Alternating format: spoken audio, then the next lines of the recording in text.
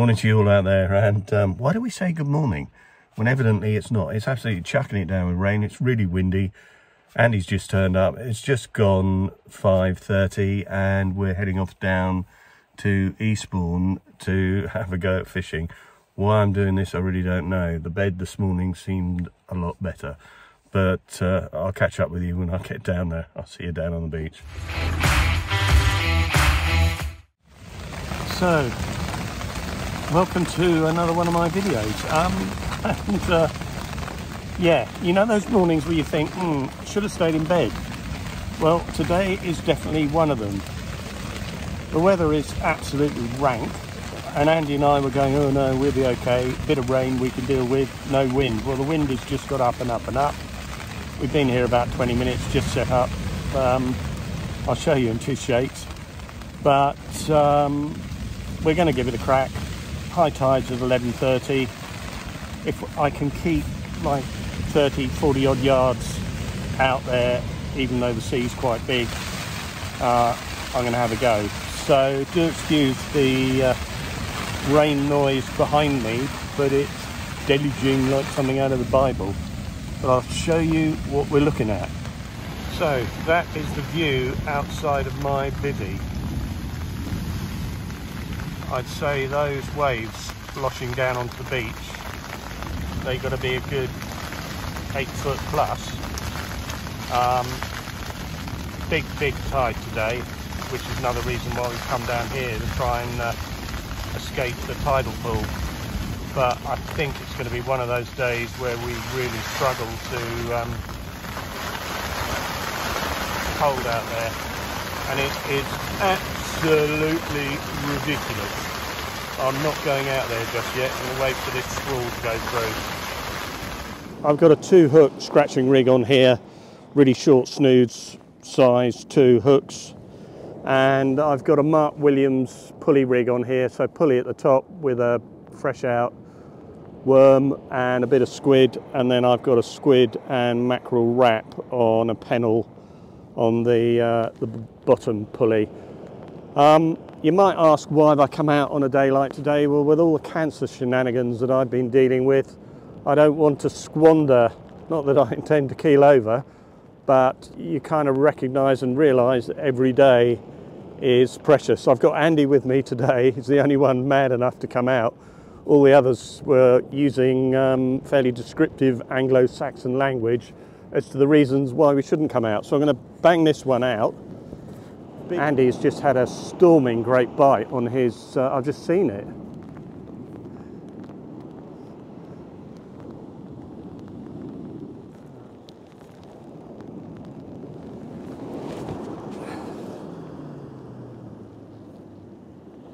Well, that went out a lot further than I thought it was going to do.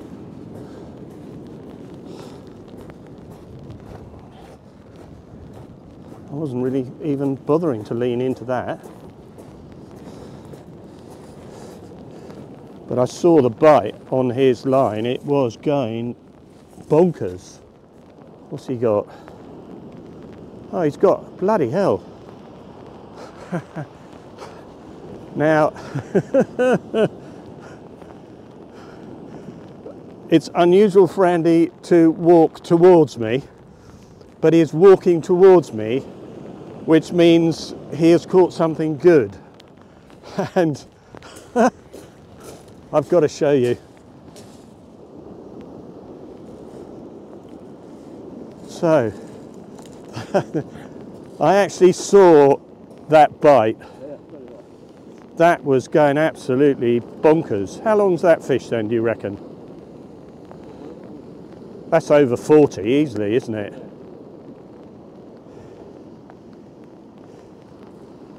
Yeah, decent bass. Bloody hell.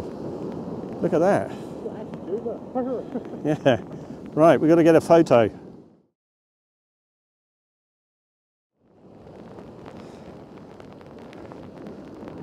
That makes it all worthwhile. it's lucky you can't hear what he's saying. Brilliant. This will give you some sort of perspective as to just how big the sea is at the moment. It's a long time since I fished in sea this wild and woolly. Um, we've had to move back several times now. The tide line, well the last tide line's a bit lower, but the swells are so big, it's just kicking it up the beach. I am going to cast this one out because Andy's got his out. His rod. anyway, a juvenile joke for a three-year-old man who needs to grow up. So, scratching rig, short snoods, not clipped down, fresh out, and half top hook, half bottom hook, tipped off with squid.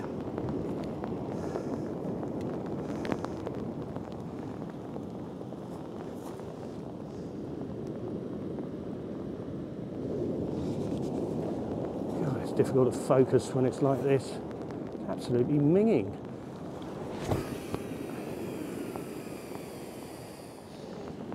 Right. So tide's going that way. Andy's way up of me, so we're not going to get caught. This um, vast jacket is. Uh, I've tried and tried and tried to get something that's waterproof. And this is properly properly waterproof. All my other jackets after about two hours in this sort of rain um, they uh, start leaking at the sort of elbows and all the bits that you're rubbing. But this is waterproof windproof really warm and it's properly waterproof. Um, hood's a bit of a nose to get on with but most hoods are I have to say. So um, yeah I've had the rods out about five minutes uh, I am glad I've actually come down here. I was listening to the rain like all through the night thinking, you know what, do I really want to get up at 4.30? Probably not. But I did promise a few of you out there that I'd come and I didn't want to let you down. So I'm here. Um, week's been, yeah, another week of just normal in and out of the hospital, bit of work in between. For those of you who are looking at figuring out where this is. There's Billy's Tower just here, which is about probably 200 metres away, and then the bungalows just up here, they're about 200 metres away. And you can park just down, if you get early enough, you can park down on the, uh, the road. Um, not many people out, unsurprisingly.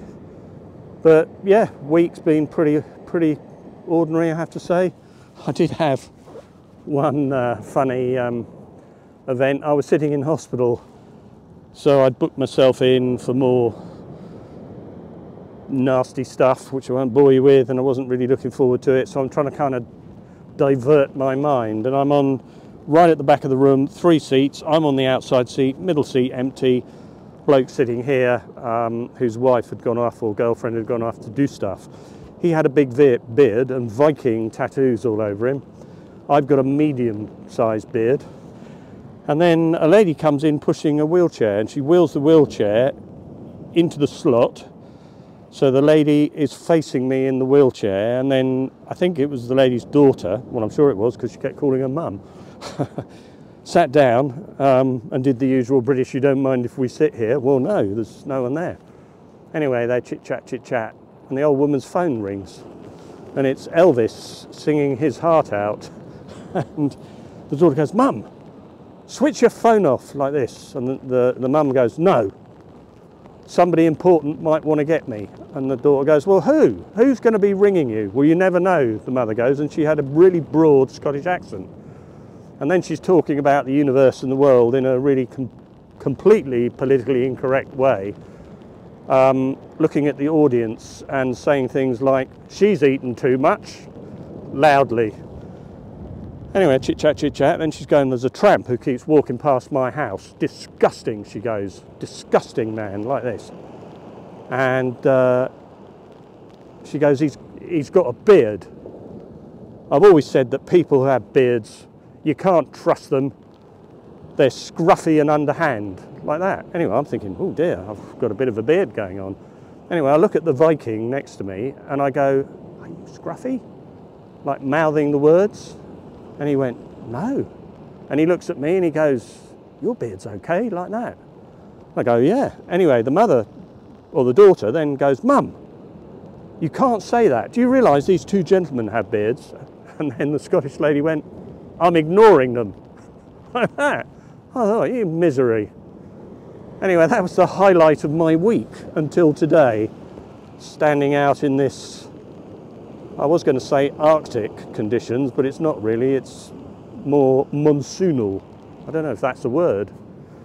Anyway, I'm going to stop yattering, I'm going to watch my rods, and I'm going to go and drink soup and I really, really, really hope I catch a fish. I can't let Andy beat me again, but as you know, those who watch my videos, it's rare I catch anything. So, yeah, at least I'm down here. I've got fresh bait.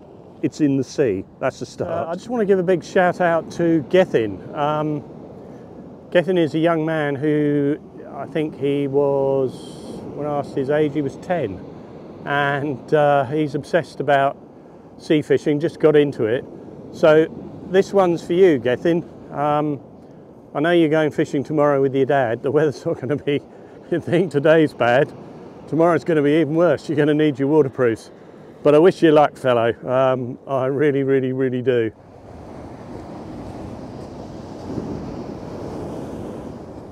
So we're at the top of the tide. No bites. Andy's big bass.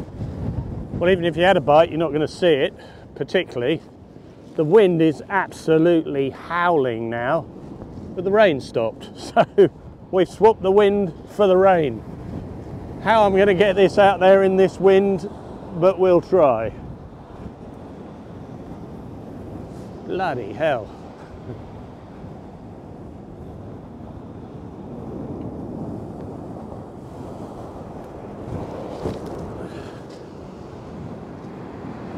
I don't know where that went to.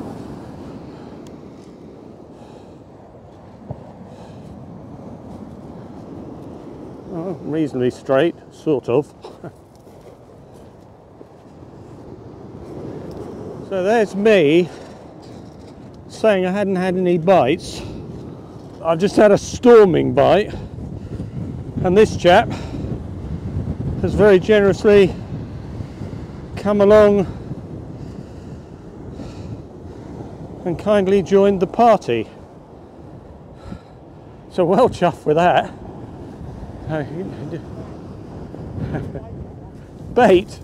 Andy reckons this is bait. I suppose this is a third the size of his, but it's still a fish. well chuffed.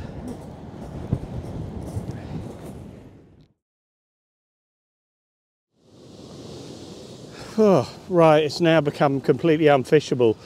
The wind is absolutely screaming through here. It's pushing the sea up. It's full of weed.